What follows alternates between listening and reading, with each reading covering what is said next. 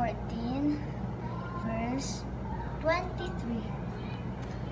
In all labor there is profit, but the talk of the lips tendeth only to penury.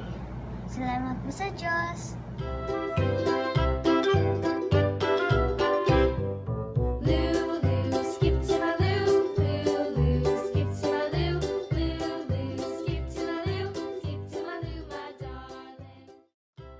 Hello everyone. My name is Priyam and this is my little brother Zach. Welcome to our